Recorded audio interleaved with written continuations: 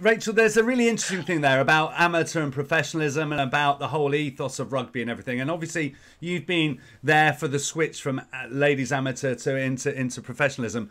Did that change things? And do you see there being a, a, a, ladies British Lions and Irish tour at some point?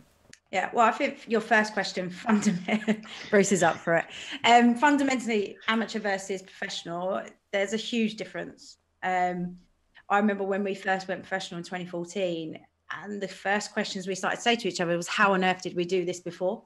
Because the time and the effort and the the life outside rugby doesn't exist really because everything is consumed. So, of course, there's a huge difference between um, amateur, professional, and and also there's different ways of being professional within the women's game. You know, you have some players who are maybe uh, you know match fees or there's semi-professionalism that the women's game is at very different stages of that professional side of things. Um, and we've had the recent global women's calendar that's been released now which is obviously going to add more pressure for more time to be away more um, assembly days for squad so does that then push um, unions to look at investing more into their their um, their sides because of the amount of commitment that is going to be coming up. And then on top of that, you throw in the conversations that are happening and have been happening. It's not new. This has been in the last couple of years that they've been talking about the British and Irish Lions for the women's game.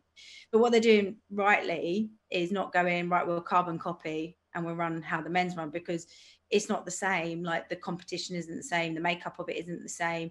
So you don't want to do something for the sake of it. And if we were just to follow the men's, that's just ticking a box to me and going, all right, look, we it morally we should be doing this, as opposed to actually going, right, let's work out what is going to be the best thing for the British and Irish Lions women's team, how we then go about that. Let's really put some thought behind it. Let's not rush it because you want it to have the legacy that the men's have. You want it to go on and you want it to create its own history.